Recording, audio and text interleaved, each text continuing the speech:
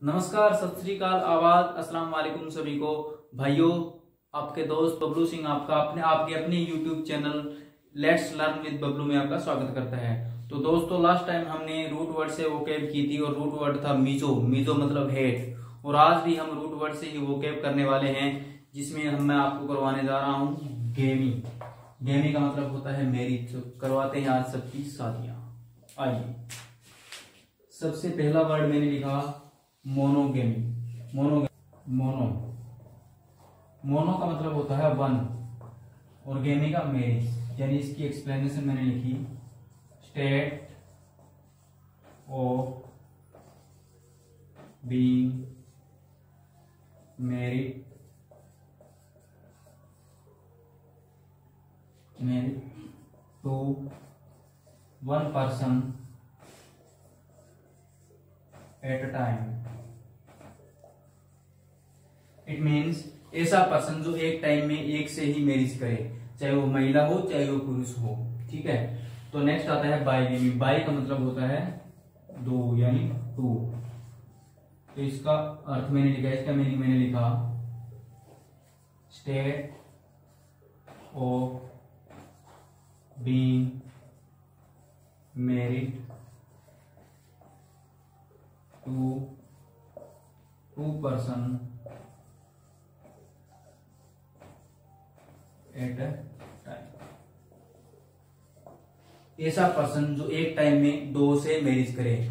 अगर according to law देखें तो ये होता है ऑफेंस ये एक ऑफेंस होता है क्योंकि अकॉर्डिंग टू लॉ हम कोई भी दो शादियाँ नहीं कर सकता। जब तक उसका डाइवोर्स ना हो या जब तक उसके पहले पार्टनर की डेथ ना हो तो डेथ ना हो। और भगवान ना करे कि ऐसा हो। तो ठीक है? और हाँ कुछ धर्मों में, कुछ रिलीजियस में ये माना गया है कि वहाँ पे हम एक से ज़्यादा शादियाँ कर सकते हैं तो इसीलिए इनको ऑफेंस भी उन धर्मों में नहीं माना जाता। तो state of being married to two person at a time ऐसा पर्सन जो एक टाइम में दो महिलाओं से या दो पुरुषों से शादी करे। नेक्स्ट आता है बाईगेमिस्ट बाईगेमिस्ट इसी का एक कॉमन नाउन बनता है। इसी को मैंने नाउन बनाने की कोशिश की है। तो कॉमन नाउन बनने के सेम मीनिंग आता है one who state of being married to यानी इसका मतलब सेम ही मीनिंग निकलता है जो इसका मीनिंग है। State of being married to two person at a time ऐसा पर्सन जो एक टाइम में दो से शादियाँ करे। अब आता है नेक्स्ट फिलोगेमी फिलो फिलो का मतलब होता है लव अब ये रूप भी हम आगे जाके करेंगे लव वाला फिलो वाला। तो इसका मैंने लिखा वन हु लव्स मैरिज यानी ऐसा पर्सन जिसको शादियों से प्यार हो, ऐसा पर्सन जो शादियों से बहुत ज़्यादा प्यार करता हो, जिसको मैरिज से नफरत ना हो तो ऐसे तो हर कोई होता है। नेक्स्ट मैंने नेक्स्ट मैंने फिलोगेमी को फिलोगेमिस्ट यानी नाउन बना दिया। और तो नाउन बनाने के बाद आया same meaning one who loves marriage यानी ऐसा पर्सन जो मैरिज से लव करे, जो मैरिज से प्यार करे। नेक्स्ट आता है मीजोगेमी कर लेते हैं इसका उल्टा। मीजो मैंने आपको लास्ट रूट वो रूट रूट वो के में करवाया था। मीजो का मतलब होता है हेट हेट यानी अवर्जन तो इसका मतलब निकलता है अवर्जन टू मैरिज यानी ऐसा पर्सन जो शादियों से नफरत करे, और ऐसा कोई नहीं होता। ऐसा पर्सन जो शादियों से नफरत करे, मीजोगेमी। नेक्स्ट आता है मीजोगेमिस्ट, यानी मैंने मीजोगेमी को ही नाउन की तरह ट्रीट किया, इसको एक नाउन बना दिया। तो नाउन बनाने के बाद इसका मीनिंग निकलता है वन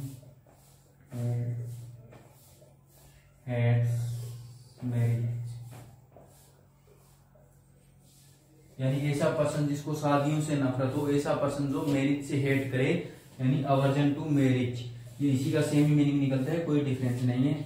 आ गया था एंडो एंडो का मतलब होता है with in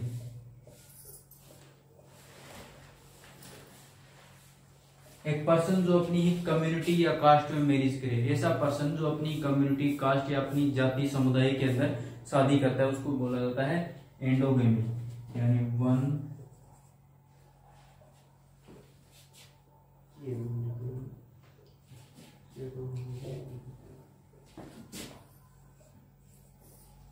state of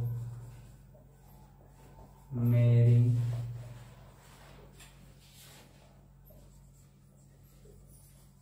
within a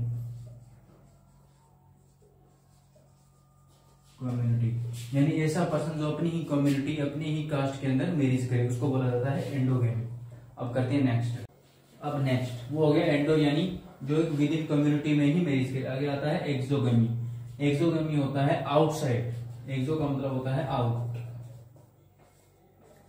यानी state of marrying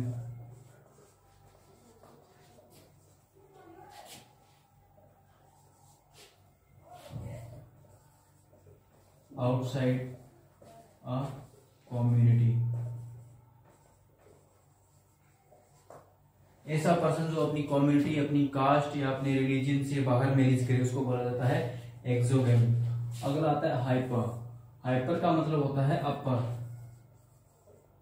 hyper hyper hyper का मतलब होता है अपर इसका मतलब ये हो गया state of marrying to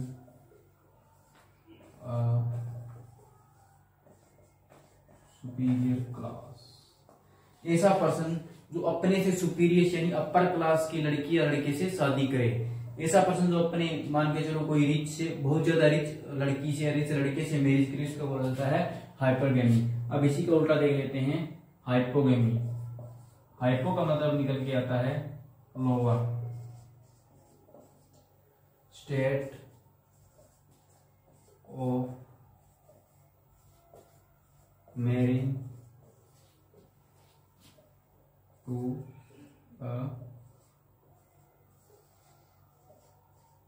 lower class, या कास्ट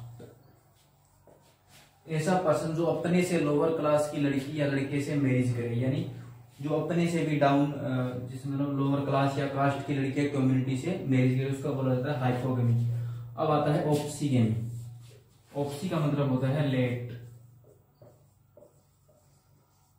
इसका मीनिंग निकलता है state of marrying late in life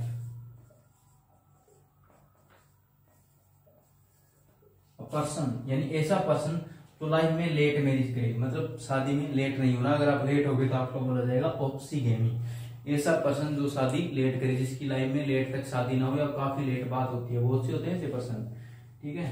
तो अब करते हैं नेक्स्ट तो आप आगे आता है डाई डाई का मतलब होता है सेकेंड यानी after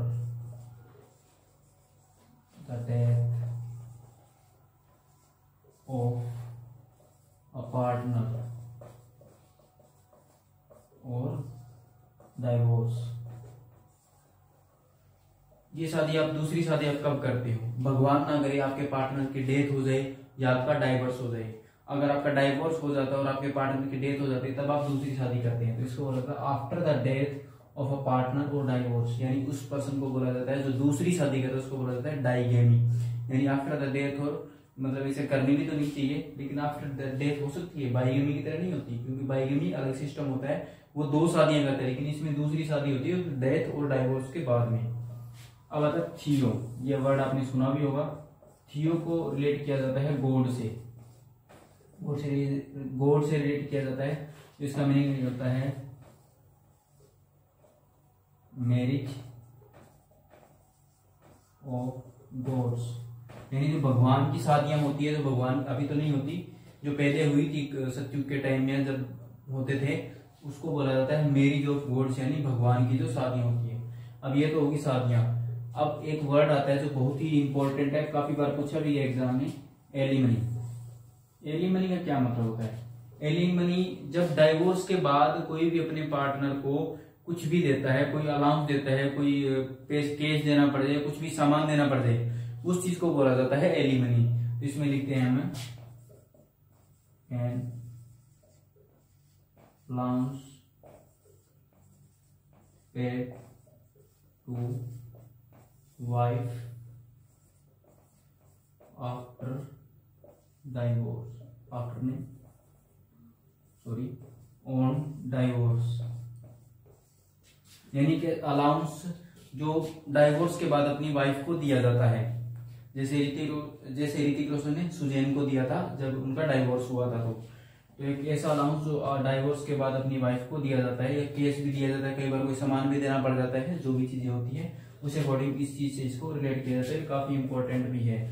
तो आई होप दोस्तों ये चीज़ आपको समझ में आ गई क्योंकि आज हमने रूट वर्ड किया है गेमी गेमी का मतलब होता है मैरिज यानी शादी, जो आपकी कईयों की होगी कईयों की नहीं हुई, और नहीं हुई उनकी भी हो जाएगी, कोई बात नहीं, ठीक है? तो गेमी का मतलब होता है मैरिज और आपने ये जो डाई थियो एली इस तरह के वर्ड भी आपने याद रखने क्योंकि इनको सफिक्स या प्रीफिक्स करके हम आगे भी और वो गेम करेंगे, दिन में ये काम आएँगे। तब मैं आपसे पूछूँगा, बताऊँगा भी इनका मतलब क्या निकलता है। तो दोस्तों वीडियो को लाइक करें शेयर करें और चैनल को सब्सक्राइब करें और ज़्यादा से ज़्यादा दोस्तों तक शेयर करें। Thank you